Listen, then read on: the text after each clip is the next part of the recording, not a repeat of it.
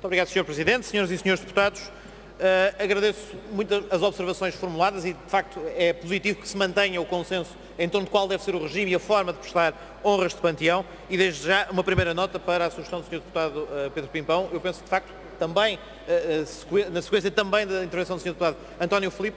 a abordagem que devemos encarar deve ser de facto com alguma parcimónia, ou seja, nos locais em que verdadeiramente se justifica pela dimensão, pela carga simbólica, pela escala da homenagem prestada, o alargamento deste estatuto. E parece-me que hoje é consensual que assim é em relação aos Jerónimos, mas parece-me também que em relação ao Mosteiro da Batalha é igualmente consensual. Não só porque é o local de posição do soldado desconhecido, porque também por essa via associar-se essa homenagem, que é uma homenagem não só a uma individualidade, mas no fundo a todos aqueles que em qualquer momento foram chamados ao serviço em defesa do seu país e da sua comunidade e que por isso essa homenagem é prestada não apenas, se calhar, a uma elite de, eh, de, de personalidades, mas verdadeiramente a todos aqueles que prestaram serviço nas Forças Armadas e que por isso justifica plenamente ponderar a batalha, mas obviamente concordamos, eh, se começarmos à procura de todos os locais no país que possam ser emblematicamente relevantes, efetivamente descaracterizávamos também aquela que deve ser uma função de panteão nacional. Por outro lado, também gostaria de dar nota que também vemos com bons olhos que se faça a reflexão, também aqui proposta pelo Sr. Deputado António Filipe, sobre a necessidade da ponderação e de um fator, se quisermos, de,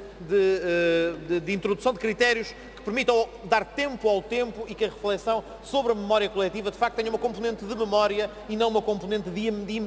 imediatividade e uma componente mais emocional do que aquilo que se pretende para o Panteão Nacional. É o que sucede, aliás, na esmagadora maioria dos países europeus, que têm até períodos bastante mais longos do que aqueles que temos na nossa lei, e já que vamos ter uma discussão sobre esta matéria em de especialidade, não vejo razão nenhuma para também se poder fazer precisamente esse exercício. E finalmente terminava dando nota de que, efetivamente, esta Assembleia da República, já num outro papel, não do legislador, mas se quisermos de responsável pelas honras de Panteão, deve efetivamente olhar para uma solução que já consta da lei, que é a possibilidade de homenagens no Panteão Nacional através da colocação de uma lápide evocativa da memória da personalidade a homenagear e que efetivamente até hoje, Peço para além dos cenotáfios, deputado, que ali se encontra, terminava, Sr. Presidente, para além dos cenotáfios simbólicos que hoje já se lá encontram, nunca foi o objeto de utilização e que é um momento que deve reunir consenso parlamentar suficiente para passar a introduzir as práticas simbólicas da memória geridas pelos órgãos de soberania. Muito obrigado.